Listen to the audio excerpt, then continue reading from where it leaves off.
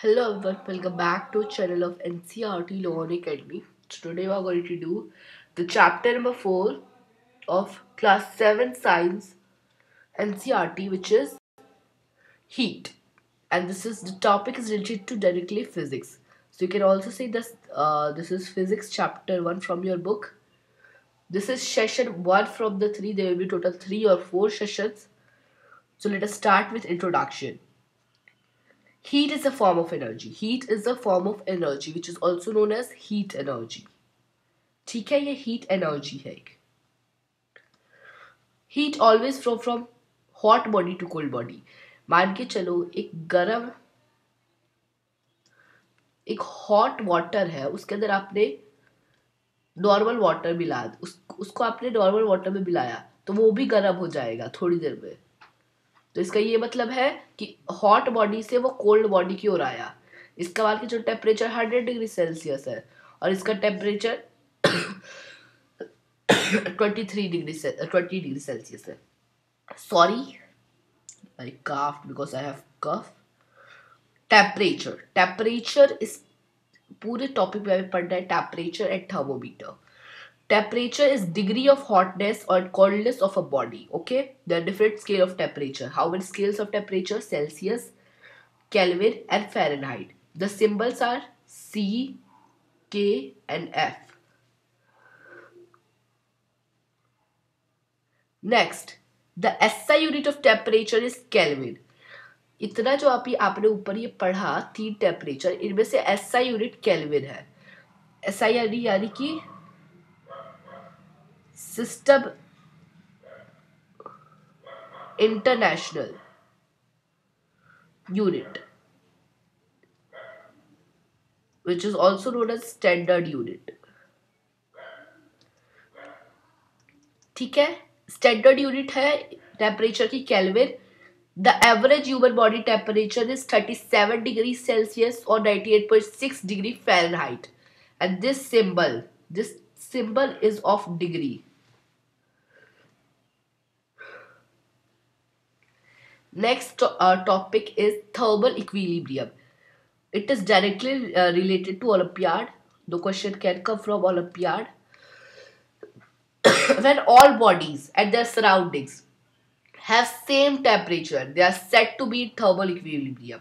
जब सभी bodies और उनके surrounding की uh, उनके सराउंडिंग में सेम टेम्परेचर हो तब उन्हें थर्मल इक्विलिब्रियम कहा जाता है पे जैसे आप थर्मल मतलब टेम्परेचर से रिलेटेड और इक्वल मतलब इक्वल से आप समझ सकते हैं इसे।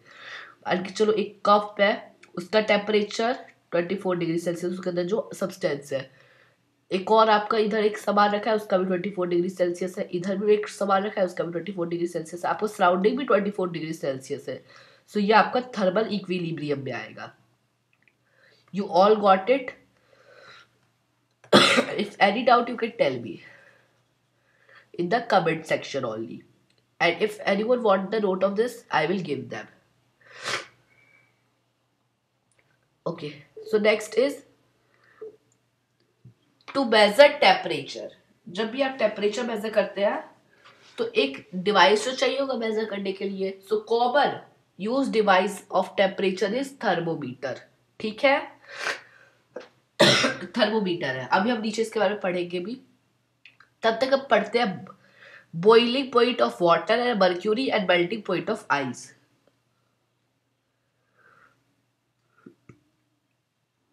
okay और यहाँ पर मैंने ऊपर फॉर्मूलाज भी लिखे हैं इसके, और मर्क्यूरी का याद रखना फॉर्मूला जो है वो बिग एच और स्मॉल जी होता है।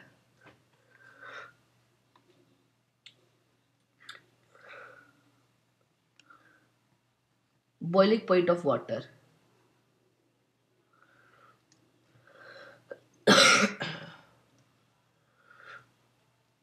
of water is 100 degrees Celsius.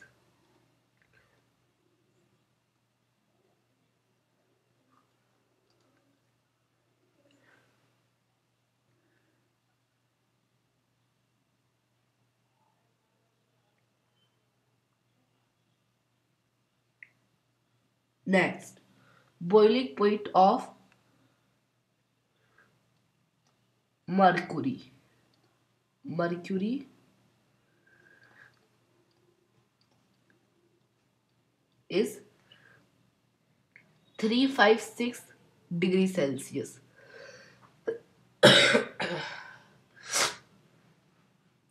Their melting point of ice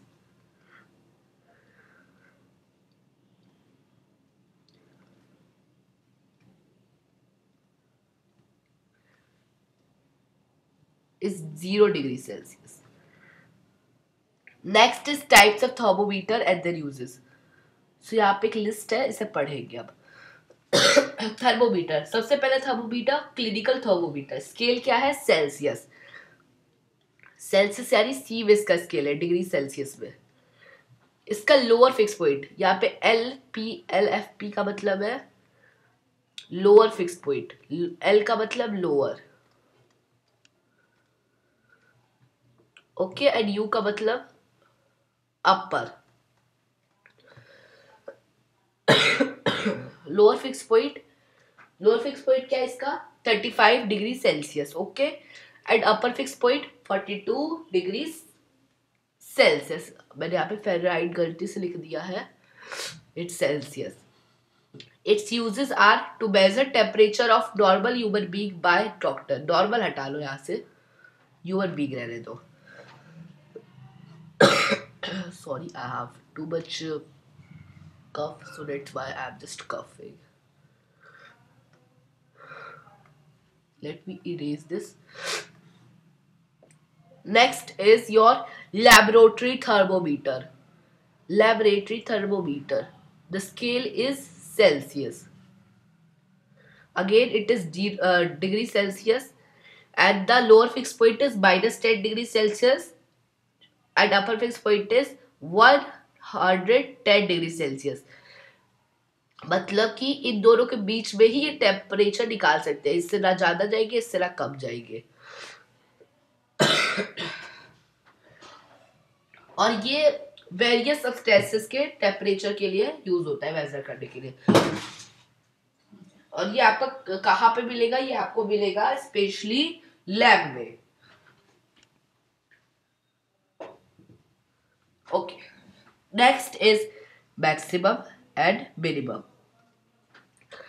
इन दोनों का हो सकता है या तो सेल्सियस हो या तो फेरर हाइट हो, जिसको फेरर हाइट चाहिए वो फेरर हाइट हो, जिसका सेल्सियस हो, उसका सेल्सियस ही होगा। और ये वेरीज करता है इसका लोअर फिक्स पॉइंट और upper fix point to find maximum and minimum temperature of a day इसका यूजेस होता है मेनली ओके okay. सो ये था आपका temperature you can also take a screenshot for future purposes if you want okay so next topic heat transfer which is conduction convection and radiation conduction के अंदर एक word है conduct convection के अंदर दूसरा वर्ड है कन्वर्ट और radiation के अंदर रेडिएट तो क्या होता है ये? समझते हैं अब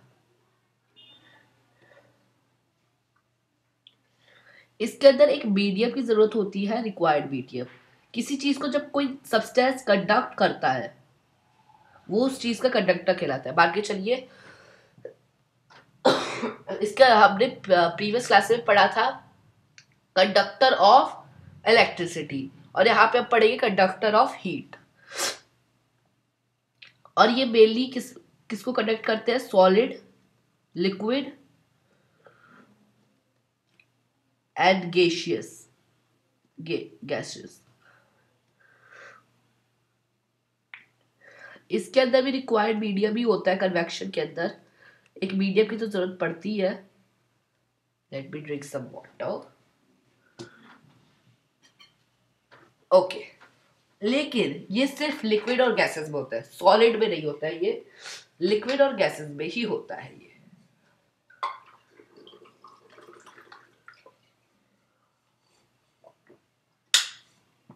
नेक्स्ट इज़ रेडिएशन इसके अंदर कोई मीडियम की ज़रूरत नहीं होती है, बस रेडिएशन होता है और बस हॉट बॉडी चाहिए इसके अंदर। सॉलिड डग लिक्विड डग गैसेस बस हॉट बॉडी तो लिख लेते हैं यहाँ पे हम लोग।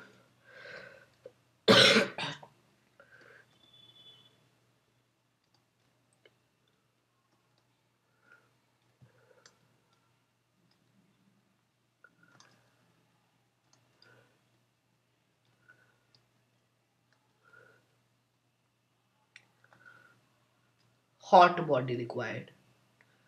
रिक्वायर्ड ही होता है। ओके okay, सो so अब हम इन तीनों को डीपली पढ़ते हैं। उससे पहले एक और टॉपिक है आपका कंडक्शन से रिलेटेड कंडक्टर्स एंड इंसुलेटर्स जो आपका हीट होता है। हीट की कंडक्शन और इंसुलेटर्स के बारे में पढ़ लेते हैं।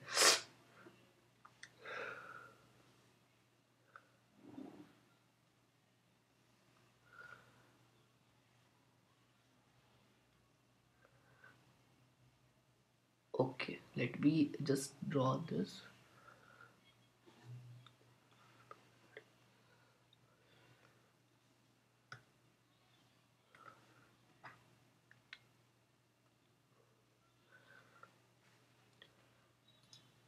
and the topics you are learning here for Olympiads will come back in class 10th.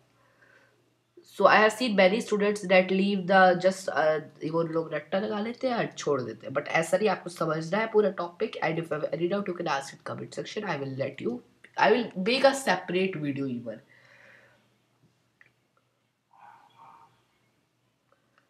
these are conductors and यहाँ पर आपका insulator.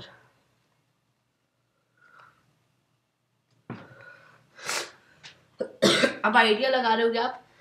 पुराने वाले क्लास से कि कंडक्टर यानी जो कंडक्ट करेगा इलेक्ट्रिसिटी लेकिन यहाँ पे इलेक्ट्रिसिटी नहीं किसके बारे में है? हीट के बारे में। किसके बारे में है? हीट के बारे में। सो so, यहाँ पे हम लोग हीट ही पढ़ेंगे सिर्फ़ और सिर्फ़।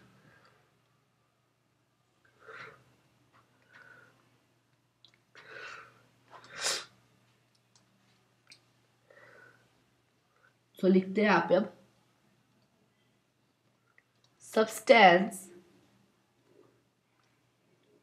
that allows.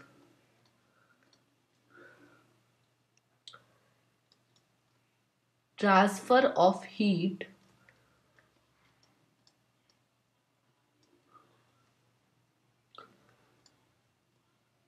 Through it. Are called conductors.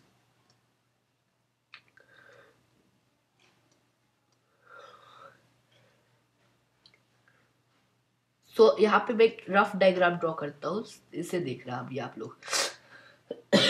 बात के चलिए आपको एक ये आपके पार्टिकल्स है। अब कंडक्ट कैसे होगा?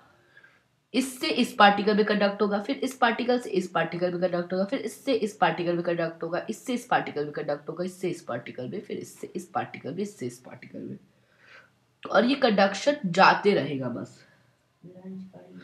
Okay so next topic of your एक मिनट से एग्जाम्पल्स बता देता हूँ, कहीं आप लोग थोड़ी कंफ्यूज हो। जाए ये मेटल्स का यहाँ पे हम लोग पढ़ रहे थे तो मेटल्स से लिख देता हूँ मैं metals like iron copper and aluminium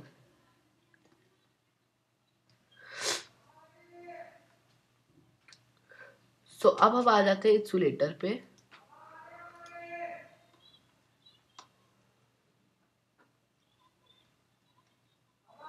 So substances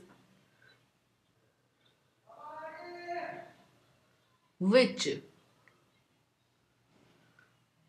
dot do dot लिख लो dot do dot allow transfer of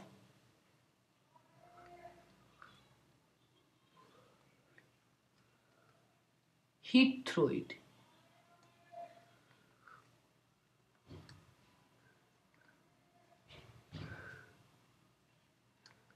are called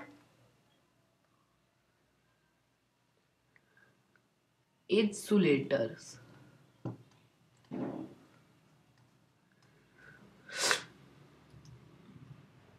इसके भी एग्जाम्पल्स लिख लो। एग्जाम्पल्स इस पे ना मेटल्स ना कुछ, इसके अंदर मैं सीधे लिखवा रहा हूँ। प्लास्टिक्स हो गया। आपने देखा होगा कि इलेक्ट्रिसिटी में हीट होती है ना तो उसके लिए आपका प्लास्टिक लगा होता है जिससे हीट आपके ऊपर ना आए। या फिर आप बोल सकते हो कि आपका बब्बी का जो पैड होता है, उसके अंदर भी लगा होता है। प्लास्टिक्स हो गया। पहले हुड का भी लगा रहता था। तवा में पहले हुड का लगा रहता था। अब तो प्लास्टिक से आ रहा है but you can ask to your mothers कि उनके टाइम पे जब उनके मम्मी बनाती थी मतलब योर दादीज टाइम उनके यहाँ तो हुड का ही होता था। और आप लोग देखते हो कि जो चिमटा होता है, वो अगर स्टील का हो या आयरन का तो वो भी गर्म हो जाता है। तो उससे भी मम्मी रोटी ज़्यादा नहीं निकाल पाती है, इसलिए उनको तुरंत हटाना पड़ता है आग से। अब देखते हो कि आपकी मम्मी वहाँ पे आग लगती होगी, आग लगाती होगी और उसके ऊपर अगर हल्का सा थोड़ा भी देर हो जाए तो वो बहुत गर्म हो जाता है। तो वही प्रोसेस होता है, ये वाला जो मैंने यहाँ पे आपको दिखाया। तो यहाँ पे भी एक डायग्राम मैं बना ही देता हूँ, जिससे आपको समझ आ जाए कि इसमें नहीं जाएगा, नहीं जाने देगा ये। ये ऐसे स्टॉप हो जाएगा यहाँ पे। कुछ और एग्ज़ाम्पल है इसका? Yes one more example is glass यहाँ पे एटसेट्रा लगा लो।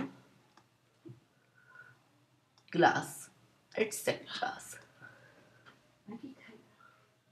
okay the next topic application of conductors application of conductors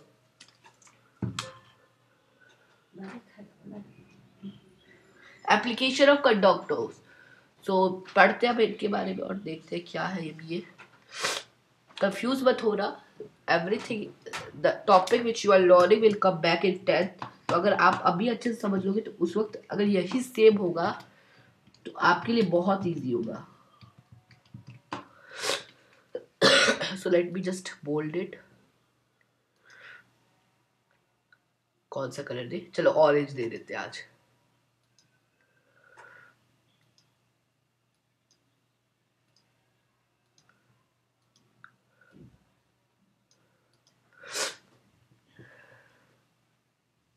तो अब इससे पहले पढ़ते हैं पहले।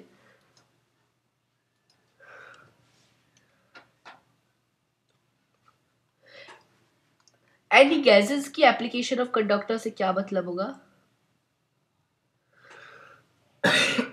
Yes yes. कि जो चीज़ें कंडक्ट करते हो एप्लीकेशन मतलब जो चीज़ें कंडक्ट करती हो हीट को। सो so, लिखते हैं पहले कुछ बेसिक से। The you can say cooking utensils are made up of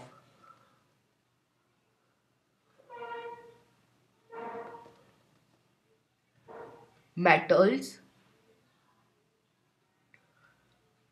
because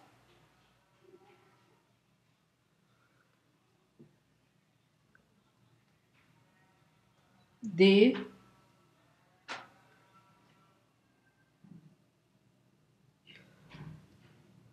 because they are ये आर है conductors of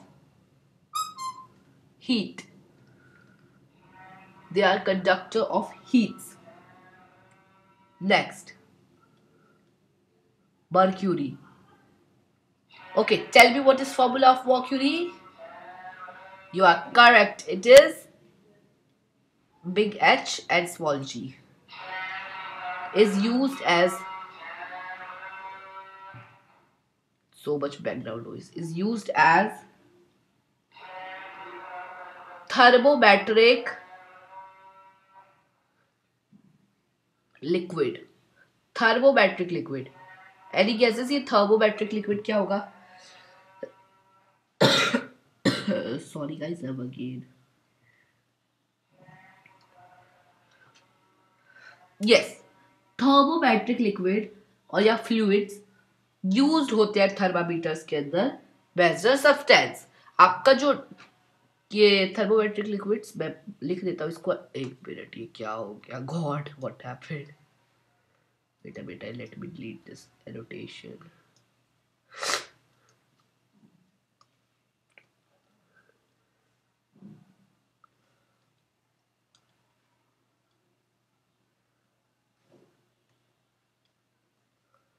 okay.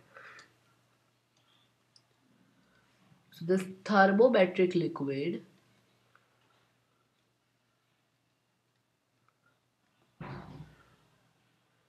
those fluids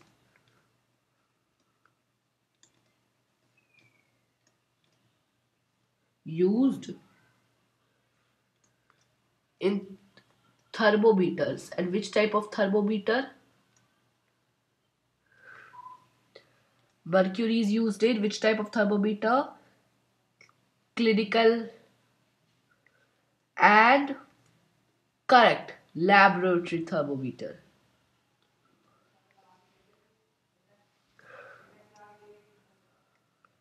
अभी आप ये मत समझ रहे कि थर्मोमीटर का कंसेप्ट खत्म, अभी तो अभी और भी आपको कंसेप्ट पढ़ना है थर्मोमीटर से रिलेटेड अभी तो पूरा आपको थर्मोमीटर ही पढ़ना है।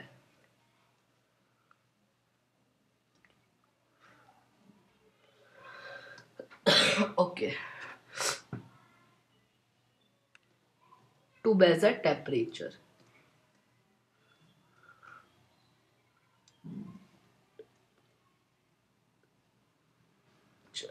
Okay.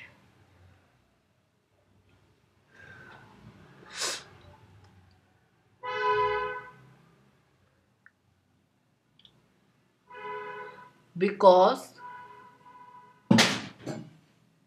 it is a good it is a good conductor of what it is a good conductor of electricity uh, sorry heat heat what I'm writing and what I'm saying.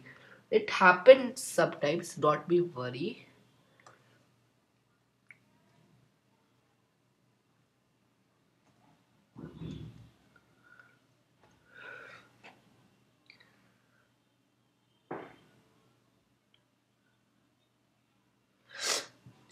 इससे आपका एक olympiad में एक mainly question आता है which is related to automobile आप जानते हो ऑटोमोबाइल रेडिएटर्स क्या होते हैं?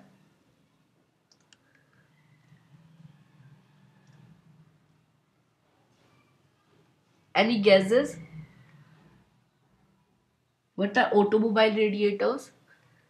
डॉट पहले सर्च पहले अपने दिमाग में सर्च करो। जब आप गूगल पे सर्च करना बिकॉज़ आपने ऑनलाइन क्लासेस में बहुत गूगल पे सर्च किया है no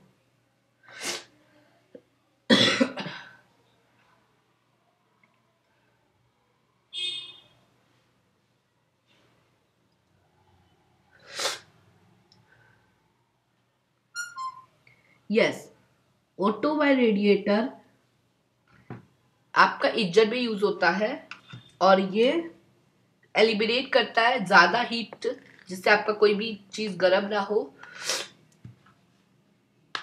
Okay so I write it here see dot got confuse related to this topic my god how much big does it go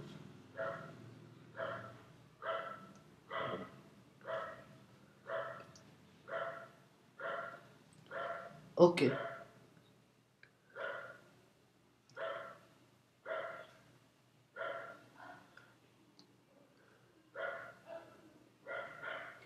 Heat from engines. Okay okay, अब लिख लेते automobile radiator के बारे में। इनके अंदर एक ट्यूब होता है। देख आ, कभी एक बार सर्च करना गूगल पे और देखना ट्यूब होगा इसके अंदर। Which is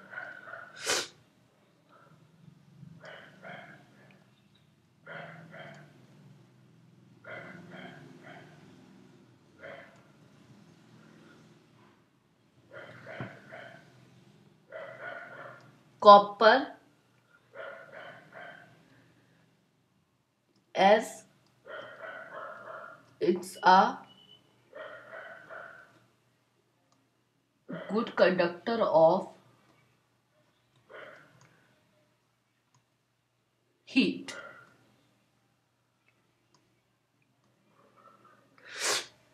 किसका गुड कंडक्टर है ये? हीट का।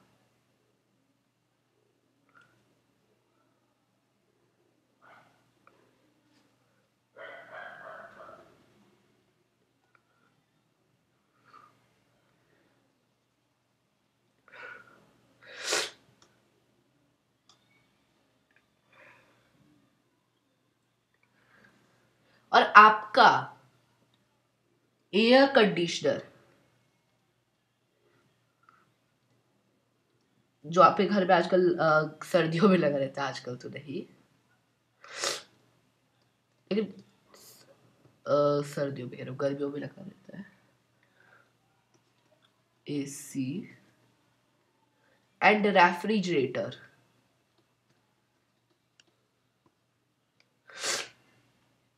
Use copper tube क्या यूज़ करते हैं? Copper tubes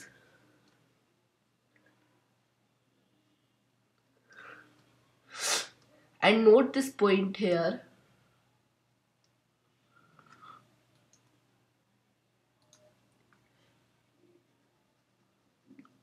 So i have a previous from you that you are uh, fine from this kind of note making technique or you want the previous note making technique which is related to powerpoint?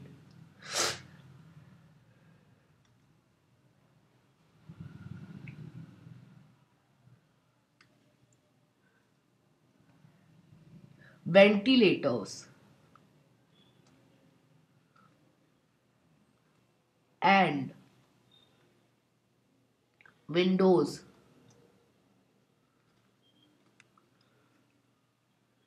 are provided in room क्यों provided होते हैं room के अंदर ये मैंने इसलिए लिखवाया as fresh air being cold which is cold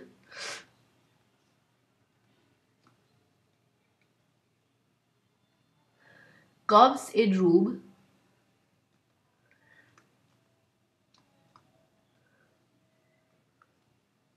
and hot air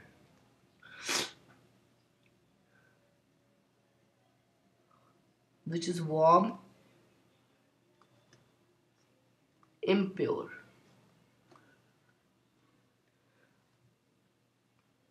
Will rise up.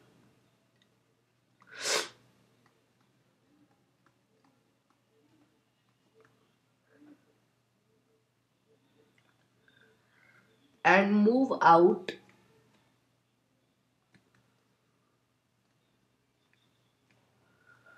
Through ventilators अब इसे समझिए, जैसे कि फ्रेश एयर आपका रूम में किसके थ्रू आएगा? बाय विंडोज़ क्या पे तो मैंने लिखा ही नहीं। बाय विंडोज़ और हॉट एयर वो आपका ऑक्यूपाई कर लेता है स्पेस इम्प्योर होता है वार्म भी होता है। ये अपने आप ऊपर उठता है हॉट एयर अपने आप ऊपर उठता है। आप इसे एयर वाले चैप्टर में पढ़ेंगे एंड मूव आउट हो जाता है वेंटिल वेंटिलेटर से। जो आपका ऊपर वेंटिलेटर्स होगा you can see it your room I have just see right now in my room